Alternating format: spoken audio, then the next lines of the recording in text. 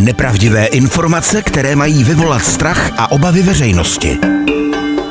O neidentifikovatelné létající předměty se zajímaly i sovětské tajné služby.